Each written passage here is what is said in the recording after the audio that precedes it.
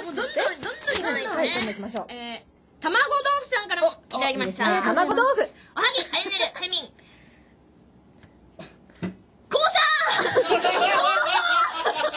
は今高校1年生なのですが先日生まれて初めての、えー、職場職場体験？違うな。職場体験？違うな。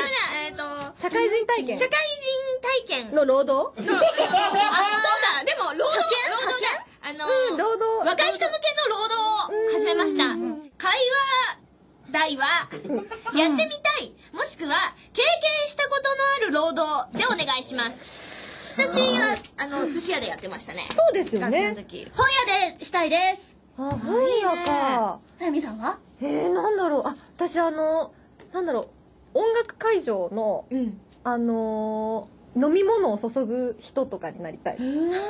なんで？え、なんで？え、楽しくないですか？あの、だっていろんな音楽聴けるし、音楽会場って何ですか？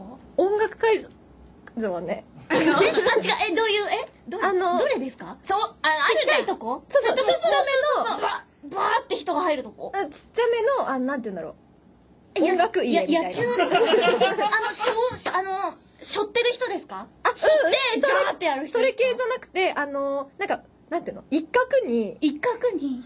なん、バーカウンターがある店だよありがとうございます、ありがとうございます。ありがとうございます。